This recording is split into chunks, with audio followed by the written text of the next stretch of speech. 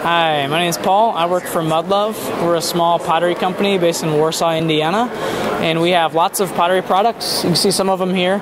A lot of them are sold online and in our studios. So all of them are made by hand in Indiana, but we donate 20% of all our sales to water projects in Africa, specifically the Central African Republic, through Water for Good. This group right here, you can look them up online, waterforgood.org. So, part of the impact that we're able to have through our business, which is created to love, is our donations go towards helping provide clean water, specifically to, to people in Central Africa. One of their staff, named Marcelin, him and his family, because of the conflict in Central Africa, were run out of the country.